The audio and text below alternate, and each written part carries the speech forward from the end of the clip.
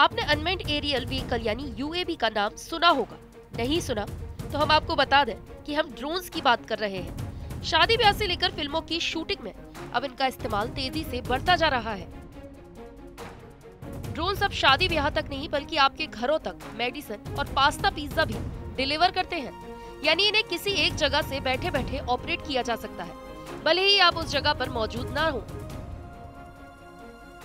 इसी टेक्नोलॉजी पर driverless car और कई दूसरे व्हीकल्स बनाए जा रहे हैं। लेकिन क्या आपने ऐसे किसी जहाज़ के बारे में सुना है, जो बिना चालक दल के समुन्दर पर तैरता हो? नहीं सुना ना, लेकिन ऐसा नहीं है कि आपने सुना ना हो तो ऐसी तकनीक मौजूद ना हो।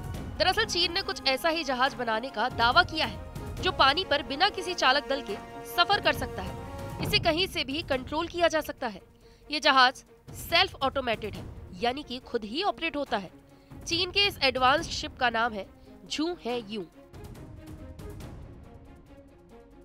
झू यू अपने आप में दुनिया का ऐसा पहला जहाज़ है, यानी इस मामले में चीन ने अमेरिका से बाजी मार ली है। खबर है कि चीन इस ड्रोन कैरियर शिप का इस्तेमाल जासूसी के लिए करने जा रहा है। अगर ऐसा है तो ये खबर भारत के लिए चौंकाने वाली है, क्योंकि ये जहाज़ इतना एडवांस्ड है कि आसानी से रडार की पकड़ में नहीं आने वाला। गौरतलब है कि बीते साल 15 अगस्त के आसपास चीन ने अपना जासूसी जहाज़ युआन वांग फाइव श्रीलंका के हम्बनटोटा बंदरगाह पर भेजा था। भारत ने चीन के इस जासूसी शिप को लेकर श्रीलंका सरकार से विरोध जताया था। लेकिन चीन के कर्ज के जाल में फंसी श्रीलंकाई सरकार चीन को मना न कर सकी।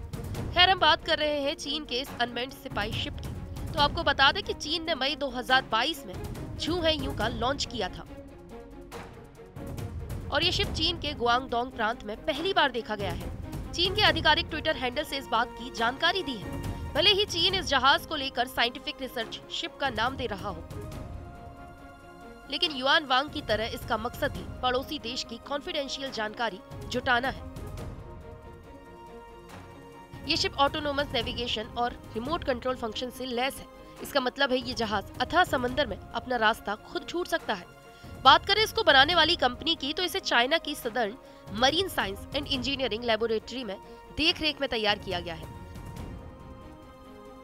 चाइना क्लासिफिकेशन सोसाइटी यानी सीसीएस ने इसे पहला इंटेलिजेंट शिप होने का सर्टिफिकेट दिया है। चीन का कहना है कि ये ड्रोन कैरियर हिंद और प्रशांत महासागर पर साइंटिफिक रिसर्च के लिए रवाना होगा।